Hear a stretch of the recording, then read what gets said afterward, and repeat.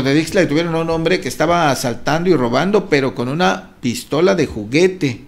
Fue este fin de semana cuando fue detenido este joven, Emanuel, de 19 años, vecino del poblado de San Gabriel Las Palmas de Amacuzac. Y es que este joven se encontraba amenazando con un arma de fuego a peatones sobre la avenida México Balsas en la colonia norte de ahí de Puente de Ixla, razón por la cual los agentes llegaron eh, y el chamaco sacó el arma, ¿eh? le apuntó a los policías, les dijo déjenme ir, no se acerquen, pero bueno, ya saben, los detectives pues tienen estrategias que a veces sí funcionan.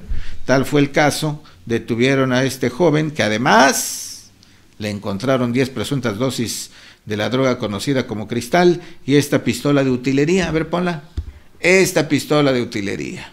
Con ello, pues, fue puesto a disposición de la autoridad.